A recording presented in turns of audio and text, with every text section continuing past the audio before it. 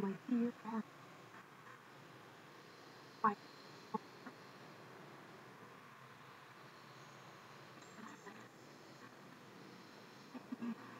Have the safety of my people.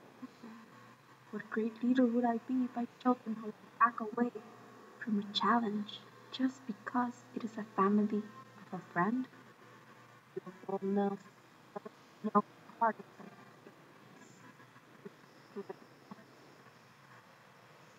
standing in front of me in my kingdom. This is not acceptable, and I will not continue to stand and let this injustice be. I will have to fight Sir Gawain and prove him and everyone else, including my supposed friend, King Arthur. I tried to act with patience in hopes was commanded to Sir Gawain to stay back, but it seems he urged to fight me until death. So be it.